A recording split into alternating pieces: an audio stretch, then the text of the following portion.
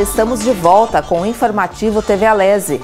Vamos começar falando sobre saúde. O quarto caso de varíola dos macacos foi confirmado pela Secretaria de Estado da Saúde em Sergipe no sábado.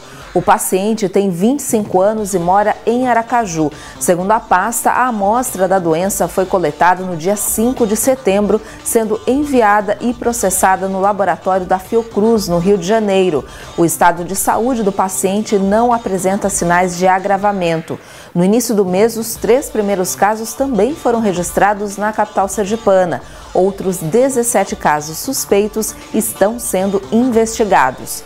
E nesta segunda-feira, Aracaju e mais seis capitais passam a contar com a tecnologia 5G. A decisão foi aprovada em reunião do grupo de acompanhamento da implantação das soluções para os problemas de interferência, liderado pela Anatel.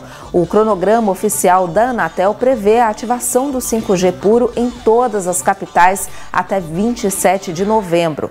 A data, no entanto, poderá ser antecipada caso as operadoras consigam concluir a instalação de antenas e de filtros antes desse prazo.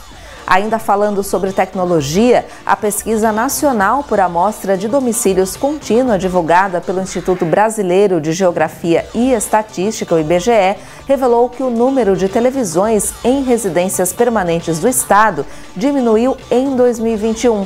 Em contrapartida, o número de aparelhos celulares aumentou-se comparado ao período de 2016 a 2019. Já o uso da internet por pessoas com 10 anos ou mais foi o segundo maior do Nordeste, apontou o levantamento.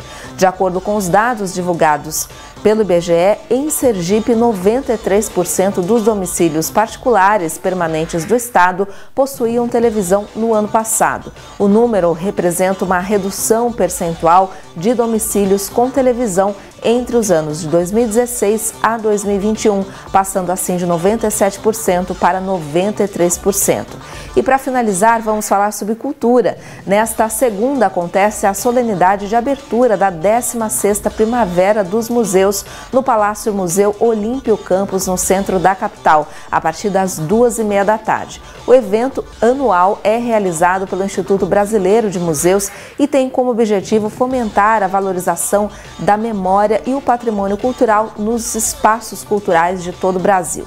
Em Sergipe, a ação é promovida pela FUNCAP e reúne em sete dias de programação mais de 30 ações em oito museus, o que inclui exposições, oficinas, seminários, exibições de obras audiovisuais, mesas redondas e apresentações artísticas, entre outras atividades. Para esse ano, o tema escolhido foi Independências e Museus, outros 200 outras histórias. O evento é gratuito e outras informações você confere através do telefone. É o 79988494713. O informativo TV Alese fica por aqui. Siga a TV Alese nas redes sociais, no Face e no Instagram pelo arroba TV Alese 5.2. No Twitter, arroba TV Alese e até o nosso próximo encontro.